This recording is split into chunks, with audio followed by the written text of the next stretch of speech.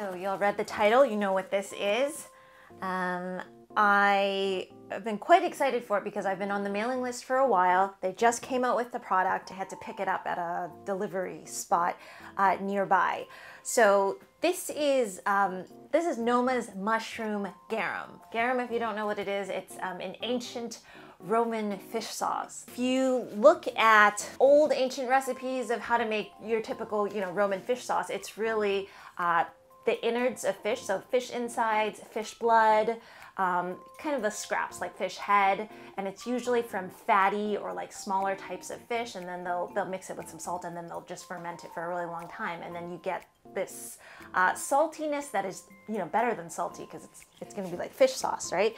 So people either loved it or they hated it. So according to one historian, he said it was an exquisite liquid which was so pleasant that it could be drunk, uh, while another uh, elder statesman described it as a poisonous fish which burns up with the stomach with its putrefaction.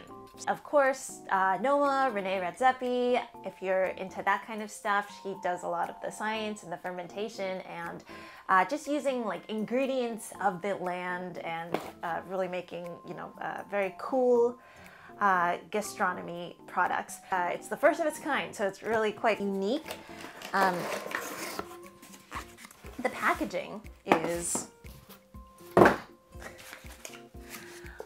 it's like it's like an iPhone. It has uh, you have your house right here, packaging, and then um, right there, Noma Project up top. You have your mushroom garum, a smoked mushroom garum on the bottom. So if you go onto the Noma website, how they uh, how they said that they made this is essentially they had some smoked brown mushrooms that they mixed with some salt, some water, and then some koji. And so koji, where we've heard that is, it's this starter that they put on top of rice, and usually it'll be used for uh, things like sake or making miso, uh, and also like things like soy sauce as well, like fermented uh, soy sauce. So I think that maybe Noma kind of saw that and uh, got inspired by this. I mean, I'm quite hopeful for this because if anybody can do it, then, then Noma can. Um, and so, yeah, let me just get some stuff to try it out with. All right, good. So um, I have my bowl of rice here, but I think what I'm gonna do is I'm gonna just take a shot of this uh, to start off with. Um, just a little bit. It was, it was actually quite pricey, and then to send it was really uh, equally as pricey. So interesting. Um, it smells like, it actually smells like soy sauce. And then you can definitely smell like um, mushrooms, like the sweetness of mushroom and the sweetness and the smoothness of mushroom. I sound so pompous. I wish I had a pipette before and I, and I didn't um, now. So wait, should I shake it? Does, does it settle? Does it, am I supposed to do that? Hold on. Um, and then this sauce, they say once you open it, you have to use it within three months. I am not sure uh, if I if I can do that, and I'm not sure if uh, how bad it will go in three months. So uh, those who have it and are not sure, I would maybe uh, I'd freeze this. I think that might be nice and keep it in an airtight container. Yeah, all right. So shake it up a bit. So.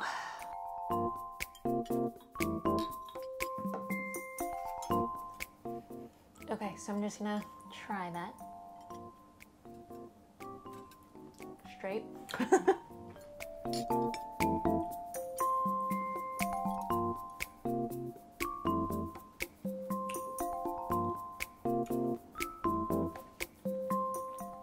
yeah, so it it very much tastes like a mushroom type soy sauce. It, it starts off very much, it, it is very much like a mushroom soy sauce. It starts off salty like soy sauce, and then in between, there is some like like a slight funkiness, but just very, very little, very little funkiness. So nothing, um, nothing quite too extreme like uh, like fish sauce. Like it, it, wouldn't have that effect.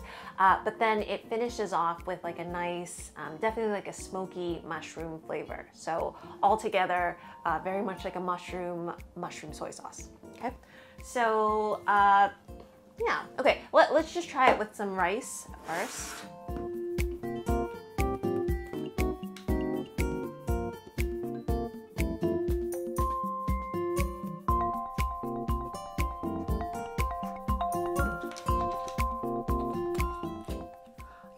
Really wish is like um, if they had like a better pour or like a, a thing with like a pipette that you could put in, which would be very much on brand with Noma, right?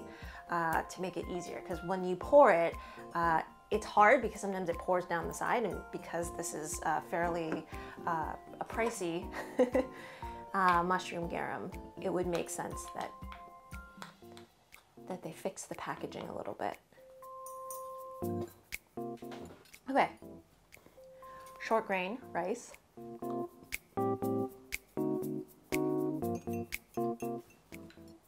I only poured in a little bit. I think I should pour in a bit more. Okay. Oh. Now some of it's off to the side again.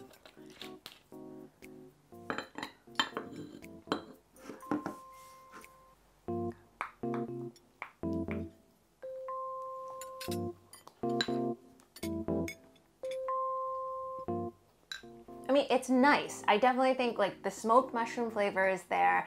It is like a liquid seasoning, almost like a like a liquid aminos. It, it tastes very much like that. Has that little little bit of funkiness, and then it ends with like a nice kind of um, uh, smoked mushroom flavor. It's it's still quite mellow. Like it's not overpowering or anything. Um, and so yeah, very much. I would use it very much like a mushroom soy sauce. What do I think? What are my final thoughts? And of course, I will be using this sauce to make some of um, Noma's recommended. Uh, I think they have two vegan recipes. One is a vegan uh, curry that uses the garum, and then one was the vegan um, ramen that uses the mushroom garum as well. So stay tuned for those videos. So what are my thoughts on the mushroom garum? Um, okay, so I, I, think because, I mean, I've been following Noma for years and obviously watching all of like Rene's documentaries and whatnot. Um, I know the work that they put into it and I know like the whole development and, and you know, fermentation and all of that. Uh, so I think what I was I don't know what I was expecting, but I really missed fish sauce. So I was really expecting something that was like, like bam, like, you know, um, e even though I wasn't expecting it to, to be like fish sauce because it was made from mushrooms, but I wish that there was more funk, more of a kick. Like I wish that it was as close to fish sauce as possible, but with mushrooms. Um, that being said, like the sauce is not bad, right? Um, it does taste very much like liquid aminos with some mushroom flavor. It does taste like a kind of like a mushroom soy sauce. I'm still happy that I tried it because I'm always really excited for uh, what they create over there. And I think it's super, super cool all of the um, research that they're doing and, and the experiments that they're doing with food that, you know, a normal home or a normal person can't do. So I th still think it's really cool. I'll definitely still be making um, some of the Noma recipes that, that were recommended on the site as well to try uh, with you all. But uh, yeah, let me know if you were on the mailing list as well. Like if you also received uh, this this mushroom garum and and what you think because I think like everybody's taste buds are different. So maybe like mine, I'm just more like I, I want that like kicker, I want that punch. But maybe for some other people, uh, this is actually like quite strong. So uh, yeah, like let me know, let me know your thoughts. Um, and yeah, I will be back uh, with those recipes and um, I will see you all again soon. All right, bye. Thank you.